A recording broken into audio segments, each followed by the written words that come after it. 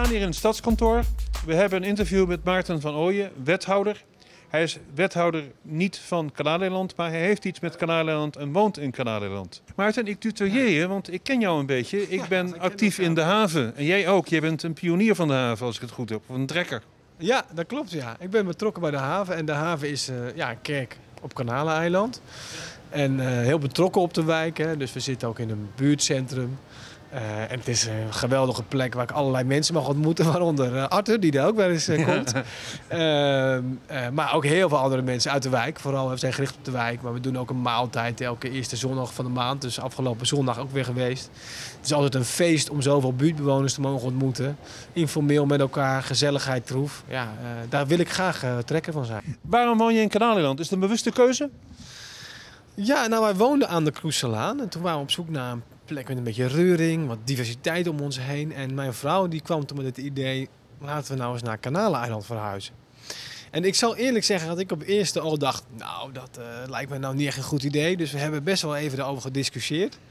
Maar uiteindelijk uh, zijn we inderdaad uh, pak een beetje drie jaar geleden in Kanaleiland beland. Je bent wethouder, maar je hebt een enorm pakket. Ik ben echt een beetje geschrokken van toen ik het pakket zag wat aan jouw taken ligt. Je hebt bijvoorbeeld, je bent wijkwethouder van de Meren. Je hebt uh, uh, stukken sport, je hebt stukken welzijn. Uh, heb je nog wel tijd om wat te relaxen? Alle wethouders hebben druk. Het is een grote stad, er gebeurt veel, met veel terreinen. Veel mensen die erbij betrokken zijn. Dus ja, alle wethouders uh, mogen flink aanpoten. maar we vinden het leuk, we houden van ons vak, we houden van ons werk. Uh, dus het gaat best wel goed hoor. Je vindt het leuk om te doen? Het is een, een prachtbaan. Echt een prachtbaan. Uh, omdat ik heel dicht bij mensen mag komen. Ze laten zien wat ze aan het doen zijn. Ze zijn trots op hun werk. Dus dat is echt fantastisch. Maar ik mag ook iets voor ze betekenen. Dus ik kan ook er iets aan doen als het echt misgaat of uit de klauwen loopt. Dus ik kan er ook echt iets aan betekenen. Dus ik mag ze en uh, nou ja, ze, ik mag en dichtbij ze komen en ze laten zien wat er allemaal gebeurt. Maar ik mag er ook al wat aan uh, verbeteren. Nou, dat, dat wil je nog meer.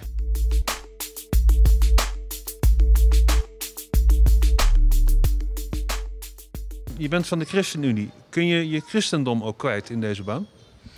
Moeilijke vraag. Ja, nou weet je, ik, ik, ben, ik ben gelovig, ik ben christen. Ik ga zondag naar de kerk. Uh, dus dat is wie, wie ik ben, wat mij kenmerkt. Uh, ik vind misschien wel de kern van het geloof is dat je omziet naar elkaar. Hè, dat je op elkaar betrokken bent. Uh, en dat kan ik heel goed kwijt in deze portefeuille.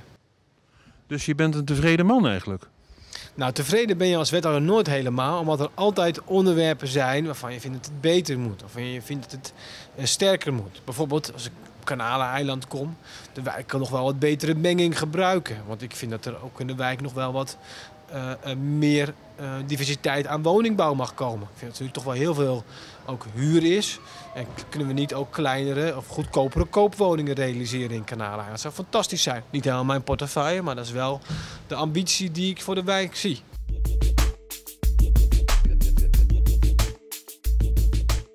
Wat ga je doen na dit vraaggesprek? Uh, ik ga zo meteen uh, naar de uh, naturalisatieceremonie als local burgemeester. Dus dan mag ik ook de keten om van de burgemeester. Wat prachtig, Maarten. Ja, zeer eervol, zeer eervol. Uh, vorige maand mocht ik het voor het eerst doen en nu mag ik zo meteen opnieuw uh, de naturalisatieceremonie leiden. Uh, dus dan krijgen we nou pak een beetje 50, 60 naturalisandi. Dus mensen vaak uit, nou ja, met een vluchtverleden die nu Nederlander worden en echt het paspoort krijgen. Nou, niet op dat moment, maar ze krijgen het uh, certificaat waarmee ze uh, het paspoort kunnen krijgen. Uh, dus dat gaat gebeuren. Dus het is echt een feestelijk moment voor heel veel mensen. En ja, ik mag de slingers ophangen dan hè, als local burgemeester. Dat is een mooie taak lijkt me, want je, je, je bent met nieuwe Nederlanders bezig. Zo is het. Letterlijk mensen die op dat moment het Nederlanderschap uh, verkrijgen. Het lijkt me een dankbare taak. Ik wens je heel veel succes in je baan. En uh, uh, blijf tevreden en blijf werken, oké? Okay? Zeker. We gaan voor het beste. Niet alleen voor kanalen aan, voor de hele stad. En juist voor de mensen die het meest nodig hebben.